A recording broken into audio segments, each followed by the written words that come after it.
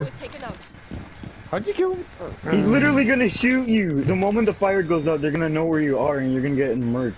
There's a claymore right there. Ah! Hey, like, Oh, you.